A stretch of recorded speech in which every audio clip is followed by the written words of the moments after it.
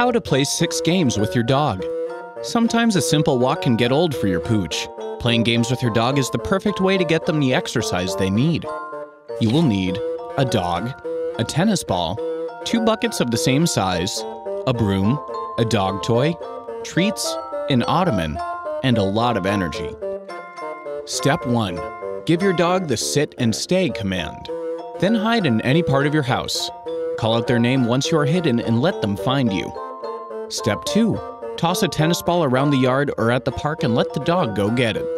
Train the dog to get the ball and bring it back so you can throw it again. If your dog has a lot of energy to burn, hold on to their collar for about 10 seconds after you've thrown the ball and then let them run after the ball. Step 3. Use two buckets and a broom to create a hurdle. Stand on the opposite side of the broom of your dog, then teach them to jump over the broom to you. Use a treat to lure them over. Step 4. Play tug of war with one of your dog's toys. Pick up the toy and encourage your dog to bite the other end. Tell them, tug, and then drop it.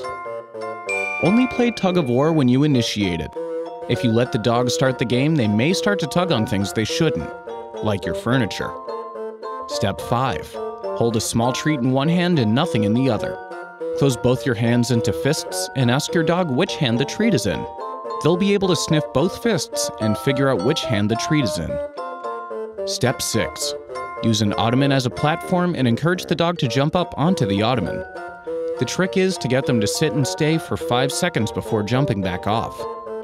Repeat until it's time for both of you to play nap time. Did you know? In 2009, the most popular dog in America was the Labrador Retriever.